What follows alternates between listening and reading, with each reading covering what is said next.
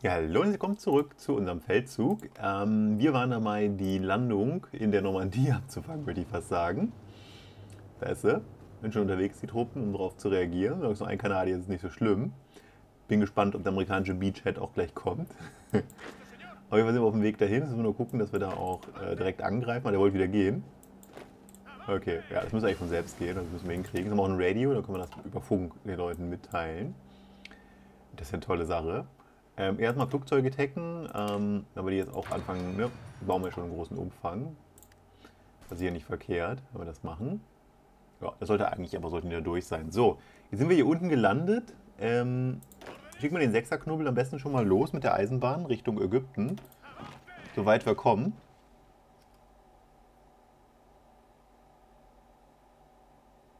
Ja. Hat er mir gerade gesagt, ich kann da nicht reingehen? Ja, bestimmt mit der Eisenbahn.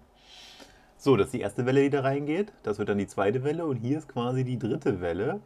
Ich bin noch nicht davon überzeugt, dass ich wirklich alle reinschicken muss. Wenn sie erstmal drüben sind, sind sie ja schwer auch zurückzubekommen. Ne? Vielleicht ich die erstmal hier für einen Notfall, falls irgendwas passiert. Wie so eine Landung da oben zum Beispiel, obwohl die Rote Armee damit fertig werden sollte. Ich bin die gar nicht so, die werden ja auch schon mit fertig. Warten wir es mal einfach mal ab. Ja, hier vorne nochmal ein Auge drauf haben. Das macht mir noch ein bisschen Sorgen, weil das geht halt Richtung meine Ölvorräte. Und das halt nicht annähernd so sicher, wie ich mir das wünschen würde. Ne? Aber wenn ich jetzt mein eigenes Öl selber verteidigen muss, wo kommen wir denn da hin? Also das geht ja so wirklich nicht. Interessant, dass meine Luftwaffe 300 XP gesammelt hat. Oder kommt das von der deutschen Luftwaffe, von diesem äh, Typen, den ich denen geschickt habe, diesen ihr wisst schon, den Attagé. Weil eigentlich habe ich ja keine starke Luftwaffe und eigentlich kämpft die auch fast gar nicht. Kommst du noch aus dem Wasser raus? Gibt es da im Süden noch was zu erobern? Nee, ne? Die Afrika-Geschichte ist mir eigentlich egal. Ähm, sind nicht gerade zwei Divisionen in den Hafen gefahren?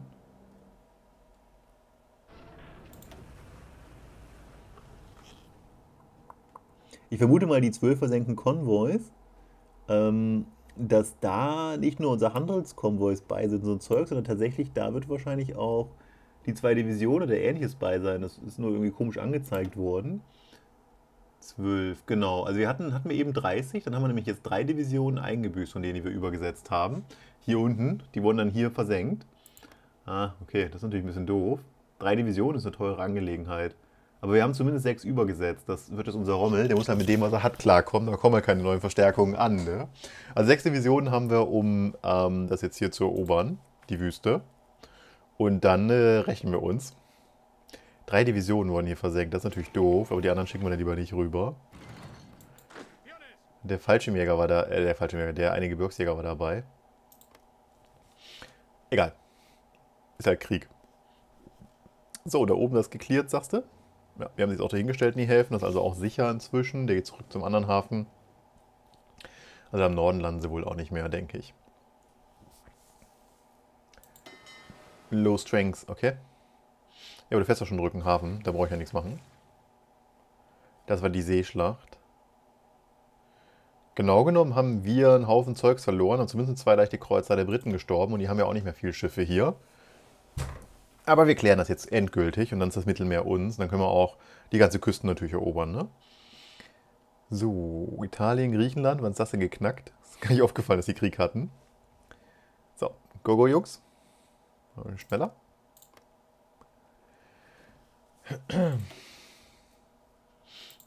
Sonst im Krieg irgendwas Neues?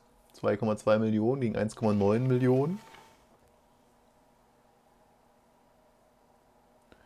Ja, das ist eigentlich nichts bei, was erwähnenswert mehr wäre, ne?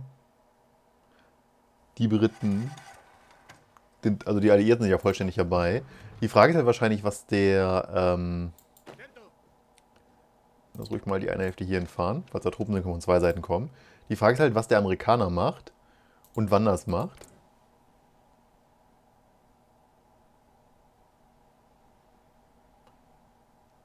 Land Lease hat er. Das bedeutet wahrscheinlich, dass er den Polen und Briten sein Gerät schickt.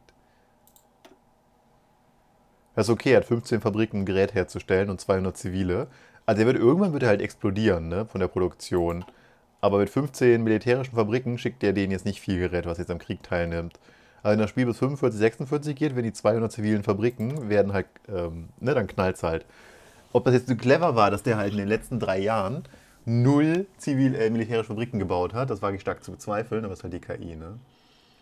So, Flugzeuge werden ja jetzt gleich auch neu gemacht. Lass mal gucken, ob wir hier, äh, hier oben, die modernisieren können. Das wird höchstwahrscheinlich, äh, genau, die Fighter-Geschichte. Als große Nation jetzt können wir uns halt auch eine Luftwaffe mal erlauben. So, und wir marschieren jetzt hier rein. Nee, nee, nee, warte mal. Also einer muss immer südlich laufen. So. Die Scheißwüste.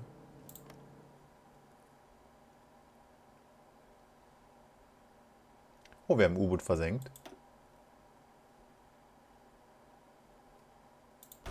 In Nordfrankreich will er wieder landen. Da will er landen.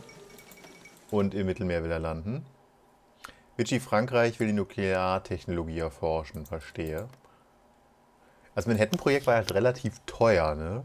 Wie jetzt ein, eine Nation, die auf so einer Insel lebt, das machen will, ist mir jetzt ein Rätsel, aber okay. Also wir klären das mit der Seeschlacht gleich. Da wird der Italiener auch glücklich, denke ich, wenn seine Konvois nicht mehr versenkt werden, seine Schiffe nicht mehr geradet werden. Also wenn die Royal Navy keinen Zugriff mehr aufs Mittelmeer hat, ich glaube, dass dann alle glücklich werden, bis auf die Alliierten wahrscheinlich.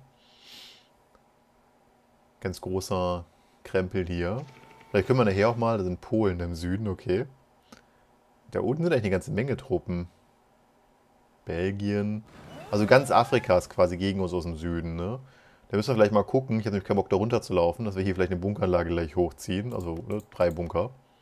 Einfach um den Süden hier einen Stopfen drauf zu machen. Macht sicher keinen Feldzug in Afrika. El Alamein ist gefallen, da war wohl keiner. Wieso geht hier eigentlich jetzt alle oben rum? Achso, ich habe das irgendwie komisch angeklickt. Direkt mal das Ufer dann sichern, wenn es irgend geht.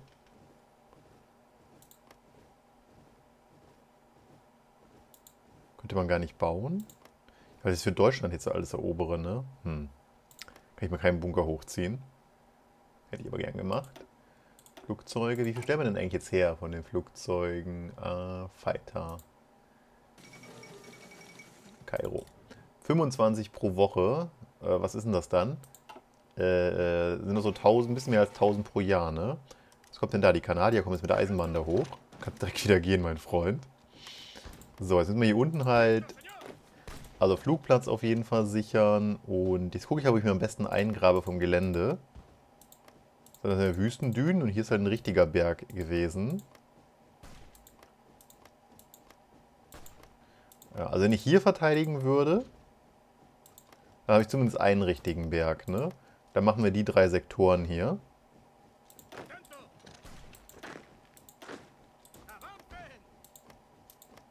Die drei Sektoren und du machst den da unten. So, den Hafen haben wir jetzt auch erobert. Nochmal ganz kurz hier als Garnison dann da lassen. Lass ruhig mal den Hafen mitnehmen. Und dann nehmen wir den zurück und bleiben auf dem anderen Ufer. Aber die werden wir nachher auslöschen da oben. Aber das hat jetzt noch ein bisschen Zeit. Der Suez ist ja, glaube ich, zu, wenn ihr nur eine der beiden Seiten haltet. Ne? Also Schneesturm, äh, das andere. Mit dem Sand, das Zeug. Genau, hier drüben. Ihr müsst aber, glaube ich, nur ähm, einen dieser vier Punkte halten, damit das als zu gilt, oder?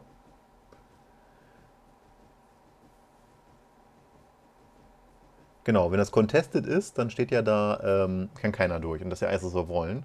Das heißt, ich brauche eigentlich nur die Seite hier halten, damit das zu ist.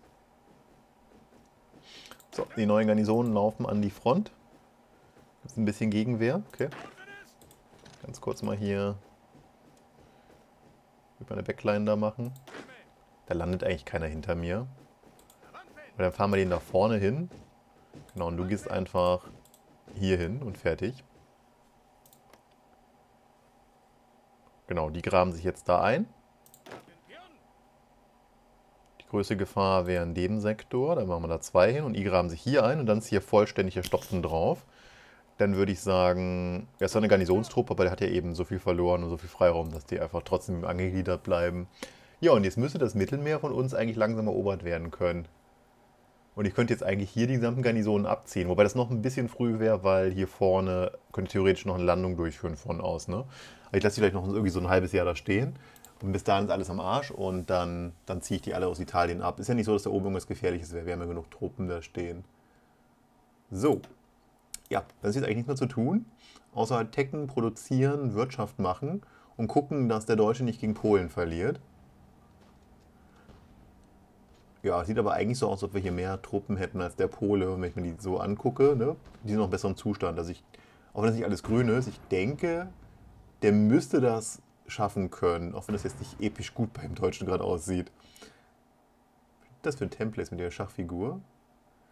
Oh, die sind ja komplett scheiße. Warum stellt der Deutsche eigentlich keine echten Soldaten her?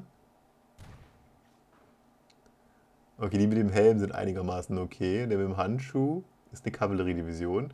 Also Handschuh und der hier, die sind quasi leere Divisionen, wenn ihr mich fragt. Das ist keine Garnison da oben, da fackeln die mir meine Sachen ab. Wird doch eigentlich noch der Befehl erteilt da oben, ne? Dann tue ich Italien jetzt mal verloren geben. Ich glaube eh nicht, dass er da noch landet. Riskieren wir das einfach mal. Garnisons-Area. Lass die mal hier ausmachen. Ich habe da noch Flugzeuge in Sizilien. Okay. So, wenn ich das jetzt hier ausmache, ich denke, der kann da einfach nicht mehr landen. Also die Heimat hier natürlich ein bisschen beschützen. Und dann da oben, da müssten die jetzt eigentlich da hochfahren und die anderen Stellen verstärken. Das müsste doch jetzt reichen. So. Genau, jetzt fahren sie da hoch und spielen Polizei und alles.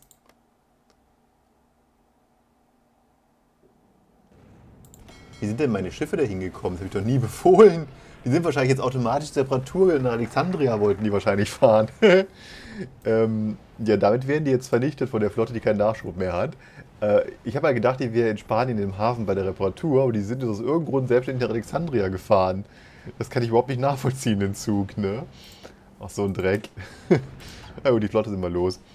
So, Aviation können wir jetzt mal hier langsam machen. Ähm, dann den Fighter-Bonus.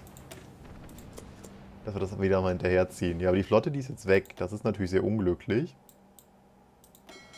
Ich weiß nicht, was die hier macht. Zumindest können wir uns in Alexandria jetzt wirklich zurückziehen. Das ist ja mein Hafen. Das hätte ich aber jetzt echt ein bisschen anders vorgestellt, muss ich schon sagen.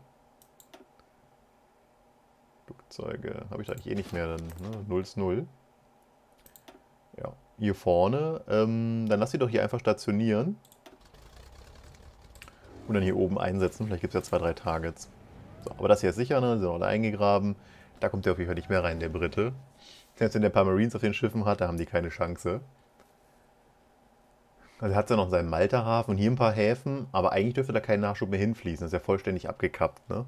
Ich weiß noch nicht genau, wie das in den Flotten ist, wenn die keinen Nachschub mehr bekommen, wie es die Game-Mechanik sagt, aber ich denke auch, dass da die Orga runtergeht und dass Reparaturen ähm, nicht möglich sein sollten. Aber 100% garantieren könnte ich es euch auch nicht.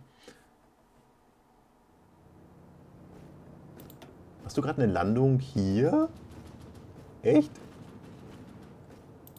Mal gucken. Sehr ungewöhnlich, landet ja sonst nur bei Häfen. Jetzt schon mal um die Ecke gehen. Würde mich jetzt ein bisschen überraschen, wenn er da wirklich landet. Hm.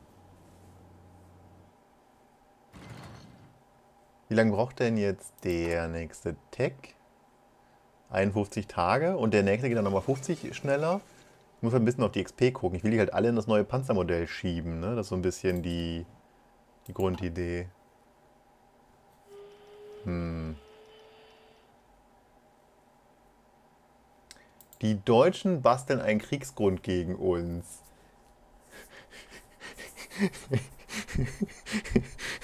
ich will nicht mehr. Ich, ich gehe zum Kiosk.